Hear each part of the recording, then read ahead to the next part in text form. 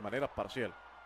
Aquí saca la rola por segunda. ¡Qué clavado de Kevin Lamas que levanta! Y juega con el Samurai el inicial. Y ponga la estrellita a Kevin Lamas. Con astucia y con valentía. La defensa de Saltillo también juega.